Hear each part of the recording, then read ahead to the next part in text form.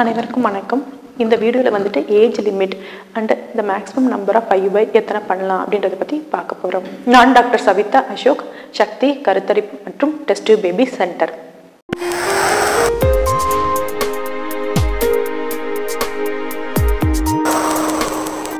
age limit அப்படின்னு பார்த்தீங்கன்னா உங்கள் எல்லாத்துக்குமே தெரியுங்க.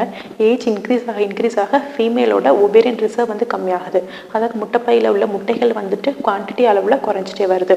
அதே இது குவாலிட்டியும் பார்த்தீங்க அப்படின்னா if it's more than thirty seven அப்படின்னா அதோட குவாலிட்டியும் கம்மியாகுது.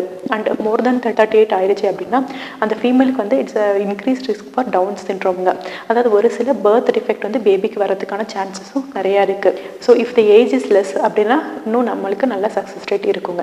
இந்த age is less than thirty two thirty three and பாக்கி எல்லா ஃபேக்டர்ஸுமே நார்மலாக இருக்குது அப்படின்னா நல்ல சக்ஸஸ் ரேட் எதிர்பார்க்கலாம். மெயினானது ஏஜோட சேர்த்து மேல் பார்ட்னரோட கவுண்ட்ஸும் மேட்டர்ஸுங்க அவங்களோட கவுண்ட்டும் நல்லா இருக்குது அப்படின்னா நல்ல சக்ஸஸ் ரேட் எதிர்பார்க்கலாம்.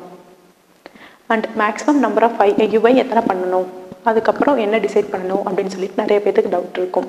மேக்ஸிமமாக வந்து பார்த்தீங்கன்னா ஃபைவ் டு சிக்ஸ் ஐயூஐ பண்ணுங்கள் நான் ஒரு சிலர் பார்த்தீங்கன்னா ஐயூஐ பண்ணுறதுக்கு முன்னாடியே நார்மலாக வந்துட்டு ஓபுலேஷன் இன்டெக்ஷன் பண்ணி பிளான்ட் காண்டாக்ட் இல்லை பிளான் இன்டர் கோர்ஸ் வச்சுருப்பாங்க. அதுவே ஒரு ரெண்டு மூணு சைக்கிள்ஸ் பண்ணியிருப்பாங்க அது ஃபெயிலியர் ஆனதுனால தான் அடுத்தது ஐயுஐ போயிருப்பாங்க. அடுத்து ஐயுஐயும் நிறைய வாட்டி பண்ணியிருப்பாங்க அது அதில் வந்துட்டு ஒரு செவன் எயிட் டைம்ஸும் பண்ணியிருப்பாங்க பட் இது திரும்பவும் ஐயுஐ பண்ணலாமா அப்படின்னு சொல்லுவாங்க. பட் இது வந்து பண்ணக்கூடாதுங்க. ஏன் அப்படின்னு கேட்டிங்கன்னா ஒவ்வொரு வாட்டியும் வந்துட்டு இந்த ஓவரி ஓவரியில் இருக்க எக் வந்து க்ரோ ஆகிறதுக்காக ஓவலேஷன் இன்டெக்ஷன் நிறையா பண்ணும்போது அதோட எக் ரிசர்வ் வந்து ரொம்ப கம்மியாயிட்டே போகுங்க. ஸோ அடுத்தடுத்து அடுத்தடுத்து நம்ம பண்ணும்போது இன்னும் quality of quality of the egg and quantity ரெண்டுமே வந்துட்டு குறைஞ்சிட்டே போகுதுங்க.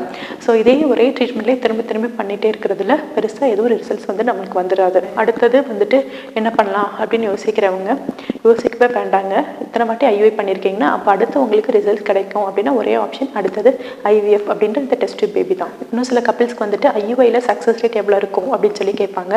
ஐயூஐயில் சக்ஸஸ் வந்து பார்த்தீங்கன்னா it's ten to twenty percent and twenty to thirty percent சொல்லலாம். If the couple is young வேறு எதுவும் பத்தாலஜி இல்லை சீமன் கவுண்ட்டும் நார்மலாக இருக்குது அப்படின்னா அவங்களுக்கு கொஞ்சம் இன்க்ரீஸ் சக்ஸஸ் ரேட் இருக்கும். ஏஜ் கூட கூட சக்ஸஸ் ரேட் இதில் டிக்ரீஸ் ஆகிட்டே வரும். அண்ட் இதில் ரொம்ப இம்பார்ட்டண்டான விஷயம் வந்துட்டு ஓவரிஸில் வந்து நல்லா எக் ப்ரொடியூஸ் ஆகணும். நம்மளுக்கு இருக்கிற ரெண்டு ஃபலோபின் டியூப்பில் ஏதாவது ஒரு டியூப் திறந்துருக்கணும். அண்ட் யூட்ரஸ்லேயும் வேறு எதுவும் பேத்தாலஜி இருக்கக்கூடாது. லைக் ஃபைப்ராய்டோ இல்லை வேறு எதுவும் பேத்தாலஜி இல்லாமல் பார்த்துக்கோங்க அண்ட் கப்பிள்ஸ்க்கு வர அடுத்த டவுட் என்ன அப்படின்னா ஐவிஎஃப்னா ஹண்ட்ரட் பர்சன்ட் ரிசல்ட்ஸ் கிடச்சிருமா? நீங்கள் ஐவிஎஃப் போக சொல்கிறீங்களே அப்படின்னு சொல்லி கேட்பாங்க. ஐவிஎஃப்லேயே நான் சொல்கிறேன் it's it's not hundred percent it's only fifty to sixty percent இந்த இன்ஃபர்டிலிட்டி ட்ரீட்மெண்ட்டை பொறுத்த அளவில் வந்துட்டு எதுவுமே ஹண்ட்ரட் பர்சன்ட் அப்படின்றது எதுவும் இல்லைங்க.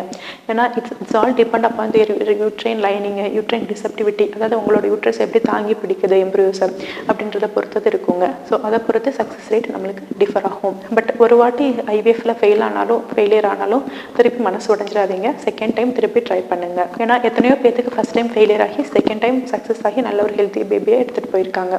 ஸோ எதர் ஐயுஐ ஆர் ஐவிஎஃப்ல சக்ஸஸ் கிடச்சி உங்களுக்கு ஒரு ஹெல்த்தி பேபி நீங்கள் வீட்டில் எடுத்துகிட்டு போகிறதுக்கு எங்களோட வாழ்த்துக்கள். இதை பற்றின டவுட்ஸ் உங்களுக்கு ஏதேனும் இருந்துச்சுன்னா சக்தி ஃபர்டிலிட்டி அப்படின்ற யூடியூப் சேனலை வந்துட்டு சப்ஸ்கிரைப் பண்ணுங்கள் ஷேர் பண்ணுங்கள் மற்றும் லைக் பண்ணுங்கள் தேங்க்யூ